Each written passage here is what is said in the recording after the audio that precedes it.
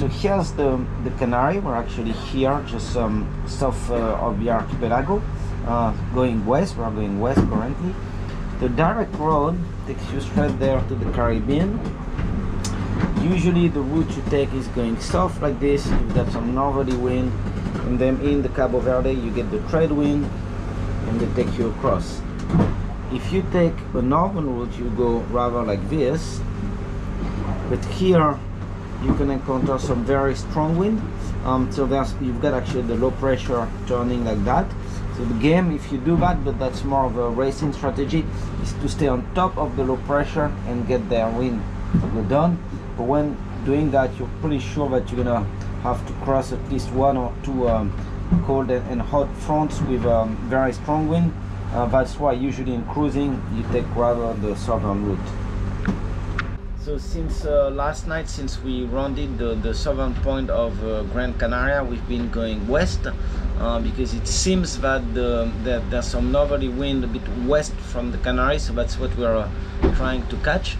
Um, and it's quite a, a complicated situation because um, when we were on land we were able to download um, all the grids from several models uh, over the next 10 days um, and that showed us that um, there was a clear uh, option either to the south or to the north of the direct route.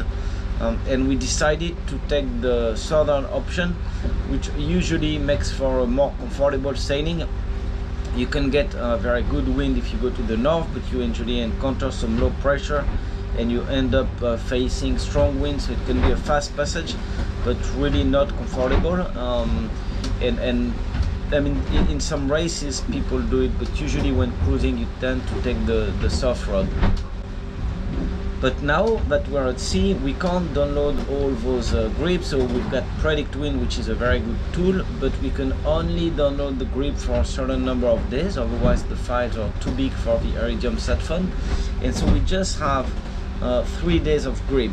And the models if are looking at the next three days clearly it's better to take the north route so they're all advising us to go uh, north. Hello so it's uh, the morning of uh, Wednesday 9th uh, the seventh day of the trip since we left uh, Gran Canaria. And uh, after a day and a half of motoring I think we are starting to get some wind to get out of this smaller anticyclone. Basically that, that's the big Azores anticyclone. It was cut into by a, a low pressure um, so we were in, caught in the eastern part of the anticyclone uh, that kind of uh, blocked us from going to the Cape Verde. Um, so you can see on the on the chart uh, that last night we basically as the wind which was coming from the southeast veered to the east and then east northeast we were going more and more south until we jibe this morning um, so that's the, the, the wing shape uh, that is typical when you're getting in the in the trade wind. You usually have uh, this jibe. Um, and to show you a little bit more where we are, uh, we're about uh, 1,700 miles from the Caribbean.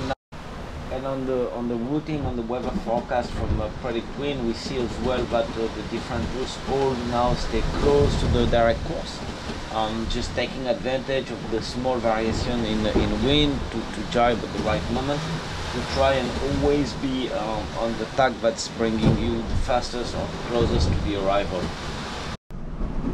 Hello, so today it's uh, Monday, February 14th, so it's our 12th day at sea.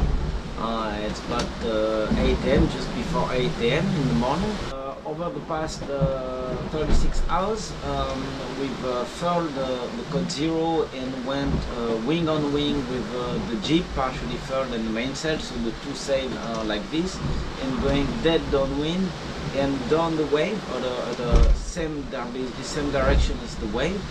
Um, typically, um, you normally think that you would uh, be going faster if you luff and if you have the Code Zero which I think is true uh, theoretically at least.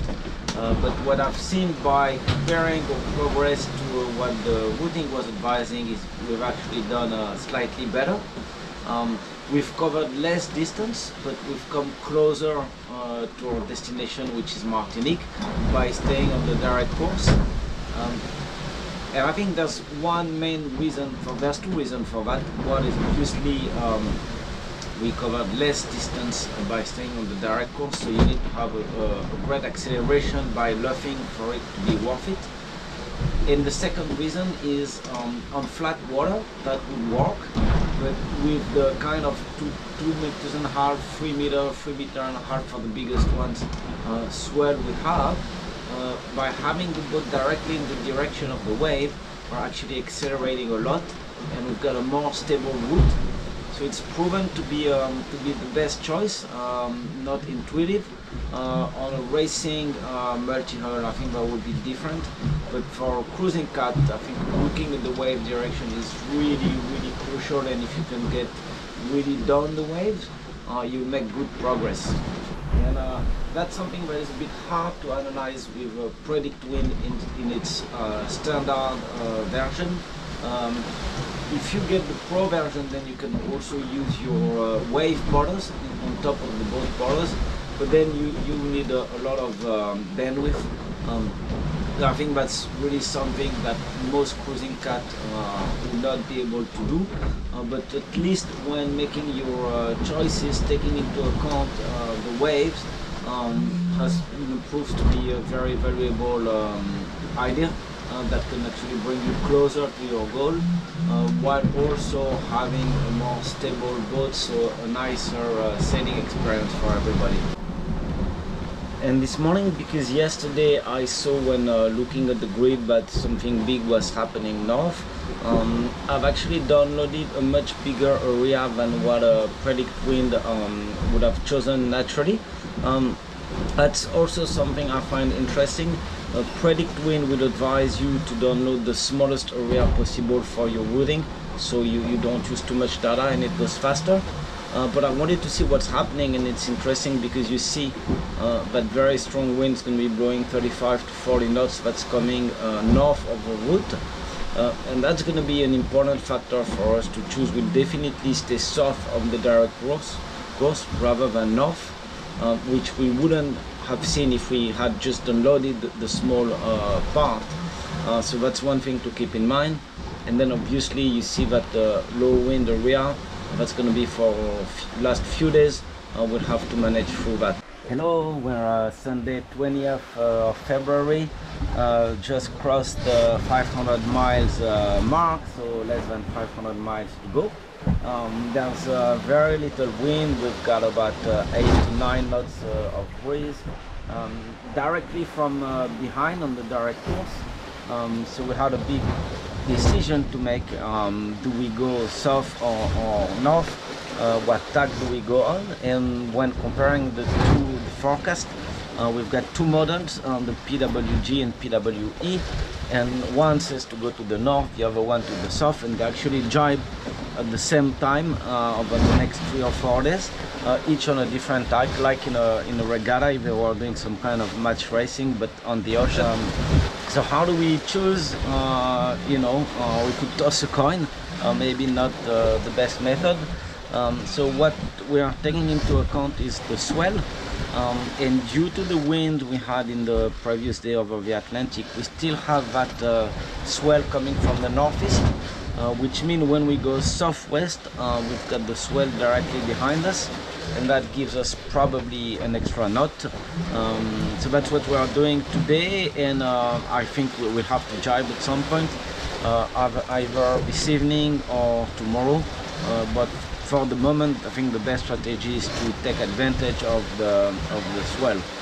Um, and for the first time in a very long time we've uh, seen a boat another sailboat uh, going to the Caribbean as well. Is uh, directly down there on uh, I think it's on the other tack um, going uh, as slowly as we are uh, about four miles behind us that's it we're in front of Martinique 35 miles away the sun is rising behind us um, so early afternoon uh, we'll be moored in Sainte-Anne in this uh, beautiful island.